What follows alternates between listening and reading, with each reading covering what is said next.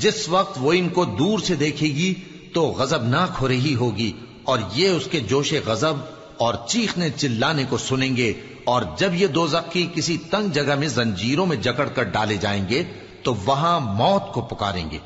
आज एक ही मौत को न पुकारो, और बहुत सी मौतों को पुकारो। पूछो कि ये बेहतर है या हमेशा की जन्नत, जिसका परहेजगारों से वादा है। ये उनके अमाल का बदला और रहने का ठिकाना होगा। वहाँ जो चाहेंगे, इनके लिए मुयसर होगा। हमेशा उसमें रहेंगे।